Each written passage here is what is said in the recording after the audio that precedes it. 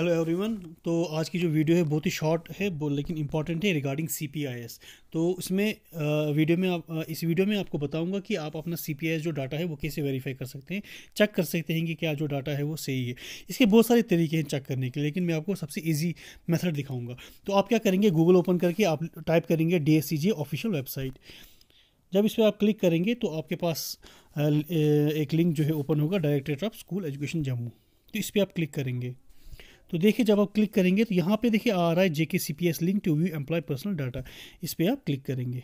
Click करने के बाद यहाँ पे आपको दिखाएगा सेलेक्ट योर चॉइस देखिए, आप जो है अपना डाटा जो है एम्प्लॉय आईडी से भी चेक कर सकते हैं, आधार से भी कर सकते हैं पेन से भी कर सकते हैं। तो जो आपके पास अवेलेबल हो।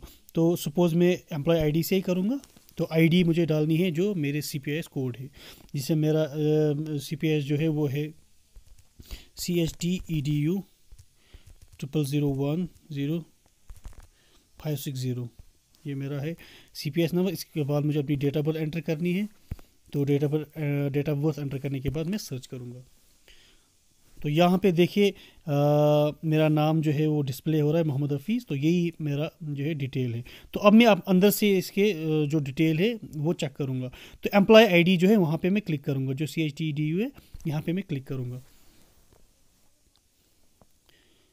तो देखिए, यहाँ पे मेरी पूरी डिटेल जो है वो ओपन हो गई। तो यहाँ से अब मैं चेक कर सकता हूँ, जैसे पहला है एम्प्लॉय इन्फॉर्मेशन। तो एम्प्लॉय इन्फॉर्मेशन में मैं अपना आधार नंबर, एम्प्लॉय कोड अपना नाम, डिपार्टमेंट का नाम वगैरह चेक कर सकता हूँ। अगर मुझे किसी भी पॉइंट पे लगा या आपको लगा कि कोई डाटा जो है वो गलत हुआ है तो आप उसको सेपरेटली नोट डाउन कर सकते हैं और इसको आप बाद में कांटेक्ट कर सकते हैं रिगार्ड जो इसके जो कोऑर्डिनेटर है, जो इनके साथ सीपीएस के साथ डील करते हैं तो आप उनसे कांटेक्ट करके अपने डाटा को करेक्ट करा सकते हैं।